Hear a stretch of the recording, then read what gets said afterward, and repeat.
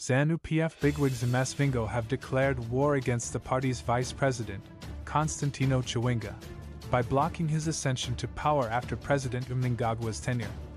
The provincial leadership, known for internal factionalism, has publicly supported Mnangagwa remaining in office until 2030, contrary to the agreement made during the 2017 coup that ousted Robert Mugabe.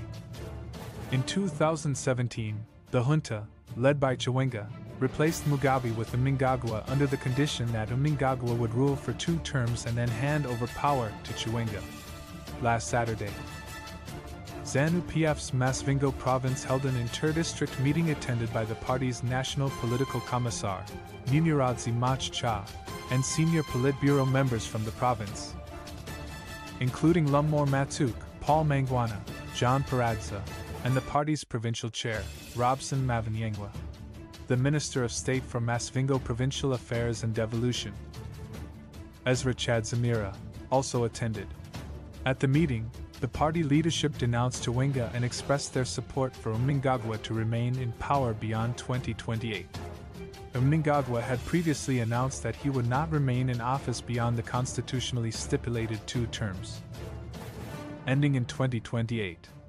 However, during the interdistrict meeting, Mavhenyengwa stated that ZANU PF Masvingo province wants Mnangagwa to continue in office until 2030.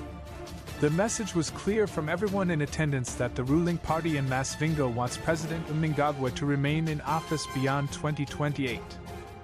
We know that constitutionally the president is not supposed to continue after 2028, but if there is an opportunity, we will humbly request that he stays until 2030. Mavhenyengwa said. He further elaborated that this decision reflects the will of the party members in Masvingo province, who appreciate Mnangagwa's infrastructural projects and his vision of making Zimbabwe an upper middle income society by 2030. Brian Munyoro, the party's provincial secretary for commissariat, corroborated Mavhenyengwa's statement, expressing unanimous support from ZANU PF Masvingo province for Mnangagwa to continue leading the nation beyond 2028. We are happy with the good work that he is doing, and as ZANU PF Masvingo, we want him to continue up to 2030 so that he can complete his vision. Munyoro said. Machacha promised to deliver this message to Mnangagwa. You have made me happy. You were singing here at Masvingo Polytechnic. There is nothing that happens in this country without starting in Masvingo.